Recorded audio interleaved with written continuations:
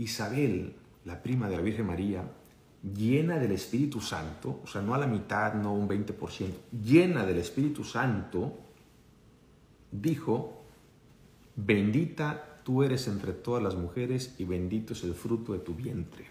O sea que la segunda parte del Ave María, ¿quién la compone? ¿Quién la hace? ¿Quién la escribe? ¿Quién es el autor? Sabemos que la primera parte del Ave María fue Dios Padre, porque por medio del ángel ¿Qué, es un ángel? Es un mensajero de Dios, es un mensajero de Dios. Entonces, en la anunciación, cuando se le aparece el arcángel Gabriel a la Virgen María, ¿qué es lo primero que le dice? Dios te salve. Y salve no es de salvar, es de salud, es, es el saludo a la realeza. Salve reina. Así saludaban a las reinas. Salve reina. Entonces, Dios te salve significa Dios te saluda. Dios te saluda. Dios te salve María, llena eres de gracia, el Señor está contigo. Imagínense, tremendo saludo, ¿no? Tremendo saludo, que te salude así alguien, que se te aparezca un ángel y que te diga, te manda saludos Dios Padre Todopoderoso. Lleno estás de gracia. Imagínense el saludo a una niña, a una jovencita, a un adolescente. Dios te saluda María, Dios te salve María, llena eres de gracia, el Señor está contigo. Entonces la primera parte del Ave María la compone Dios Padre porque el arcángel es un mensajero de Dios. Quiere decir que lo que le dijo el arcángel Gabriel a María viene del corazón de Dios. La segunda parte lo vemos aquí en las Escrituras, en la Biblia.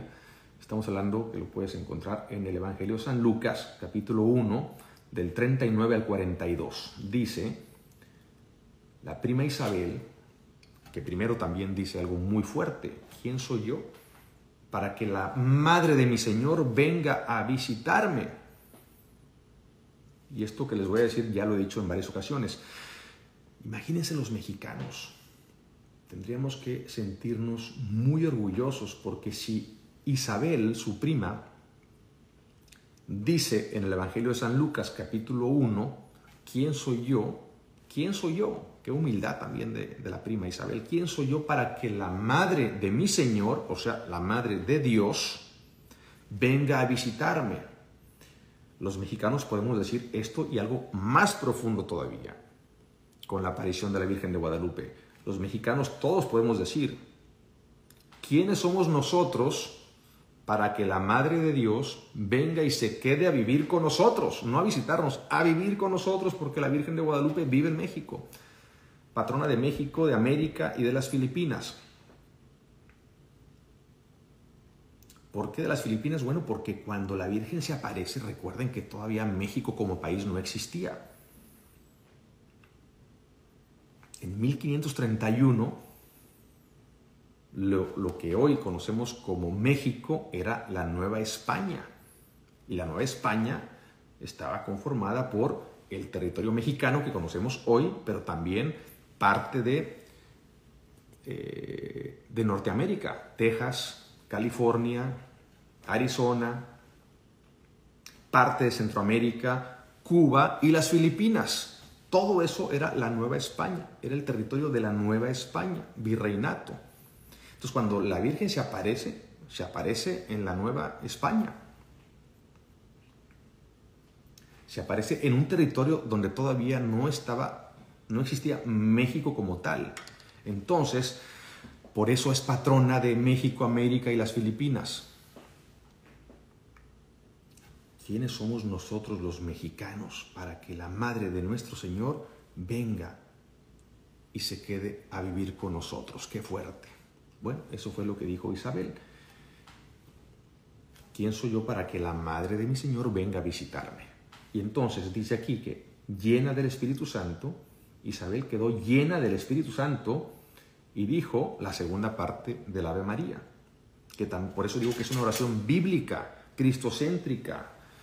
Bendita tú eres entre las mujeres y bendito es el fruto de tu vientre Jesús. Tan tan.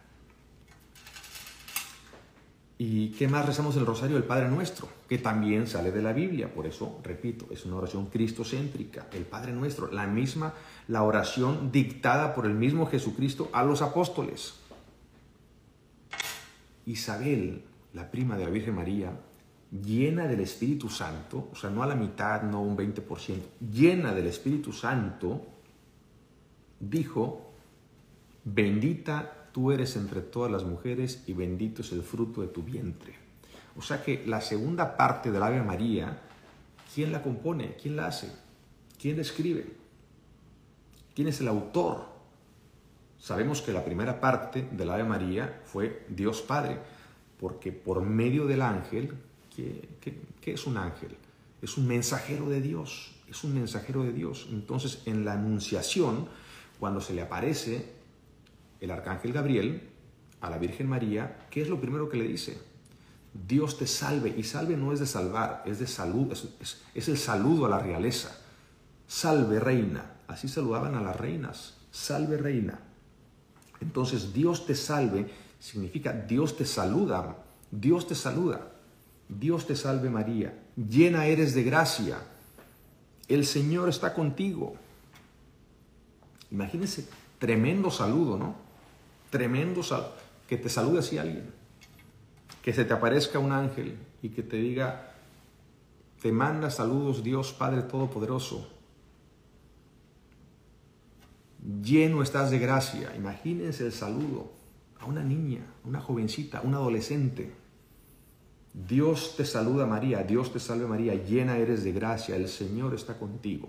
Entonces la primera parte del Ave María la compone Dios Padre porque el arcángel es un mensajero de Dios. Quiere decir que lo que le dijo el arcángel Gabriel a María viene del corazón de Dios. La segunda parte lo vemos aquí en las Escrituras, en la Biblia.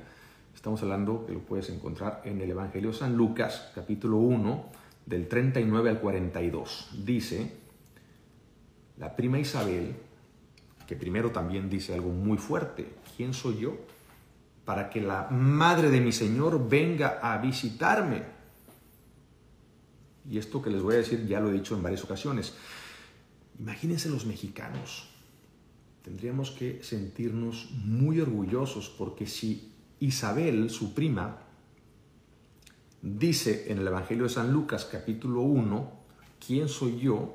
¿Quién soy yo? Qué humildad también de, la prima Isabel. ¿Quién soy yo para que la madre de mi Señor, o sea, la madre de Dios, venga a visitarme?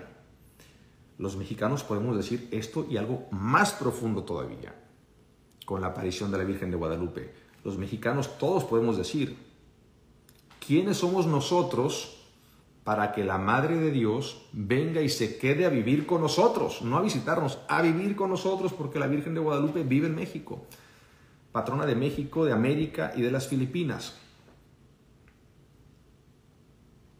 ¿Por qué de las Filipinas? Bueno, porque cuando la Virgen se aparece, recuerden que todavía México como país no existía. En 1531, lo, que hoy conocemos como México era la Nueva España.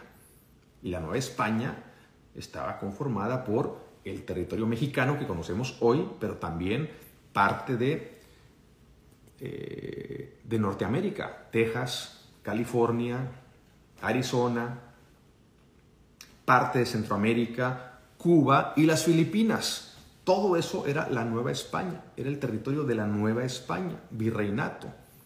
Entonces cuando la Virgen se aparece, se aparece en la Nueva España. Se aparece en un territorio donde todavía no estaba no existía México como tal. Entonces, por eso es patrona de México, América y las Filipinas. ¿Quiénes somos nosotros los mexicanos para que la Madre de nuestro Señor venga y se quede a vivir con nosotros? Qué fuerte. Bueno, eso fue lo que dijo Isabel. ¿Quién soy yo para que la Madre de mi Señor venga a visitarme? Y entonces dice aquí que llena del Espíritu Santo, Isabel quedó llena del Espíritu Santo y dijo la segunda parte del Ave María. Que por eso digo que es una oración bíblica, cristocéntrica. Bendita tú eres entre las mujeres y bendito es el fruto de tu vientre Jesús. Tan tan. ¿Y qué más rezamos el rosario del Padre Nuestro? Que también sale de la Biblia. Por eso, repito, es una oración cristocéntrica. El Padre Nuestro, la misma, la oración dictada por el mismo Jesucristo a los apóstoles.